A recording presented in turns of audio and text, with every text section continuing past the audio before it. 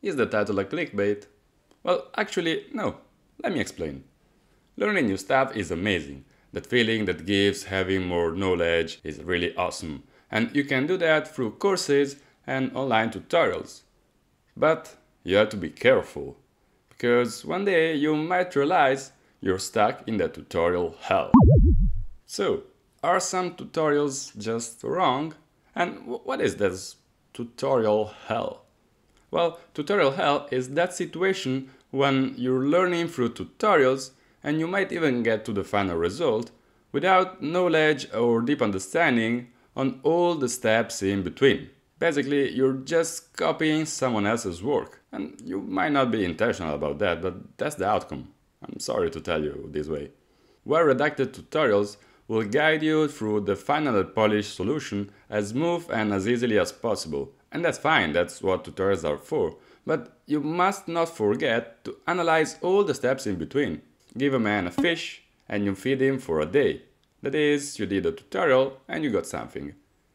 Teach a man how to fish and you feed him for a lifetime. That is, you know how to build things after the tutorial. Do you get where the analogy is? It's fairly easy to get into that situation even if you're not a beginner and you might realize it at some point, but it might be too late. Okay, so let's assume you're in this so-called tutorial hell. I want to tell you how to escape and the first step is by following this tutorial on how to use tutorial. That sounds kinda sus. But please stay with me, I promise I'll get to the point. The best way to use tutorials is to forget what the tutorial is about. Just forget it. Boom. No longer exist. Focus on the way. Do you know the way? Now you no longer care about how the tutorial aims for, but you care about what is going to tell you and why. That's the key. I think I repeated it so many times, but that's the more important lesson to take out from this video. Learn and think about why something is done that way and not another way. In case you're still confused, let me take a practical example so you get to the point. Let's say we want to build a to-do app with React. Sounds easy, right? Okay, so the tutorials at some point tells you that you want to sync your to-do list and it tells you to use an HTTP call using the verb post. Okay, so why am I using this verb? Why not put? Why not patch? What are HTTP verbs? And again, is it using a library, for example Axios? Okay, cool. Why, why the tutorial is using a library? Do we have a native way of doing HTTP calls?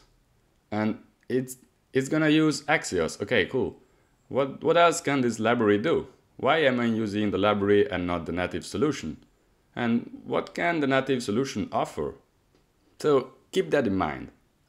Do this exercise every time you use a tutorial to learn something new. Ask why. Why and other ways to do that, the same thing. You should do that every single time because, yeah, sure, it will take more time to complete the tutorial. Your to-do app will be delayed by some hours or some days, but you're learning. You're learning 10 times more because you get why things are done and now you're able to do extra things by yourself. And that's something else you should do right after finishing a tutorial. So you did your, your to-do app, cool. How can I integrate with an, another external service? How can I add a new feature? And don't use a tutorial for that. Just try to do your own stuff. The tutorial gave you the foundation, the smallest building blocks, but now it's your time do your own work, your own research, and you will learn way more than just by doing that tutorial. Think about who wrote the tutorial, did all the research beforehand. That's why the tutorial is cool and helps you get in the solution.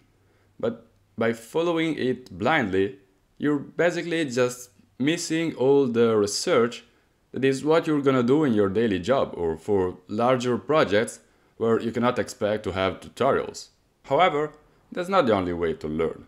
For example, in my case, I really like putting my hands on real case or real projects rather than to do apps. Sorry for using that example again, but you get the point. And the best way to do that, at least it worked for me, that's what I did personally, is contributing to open source. Yes, learning in public.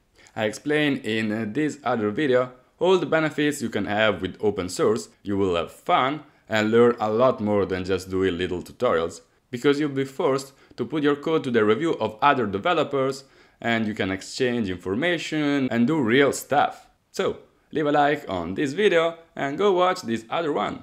See you there!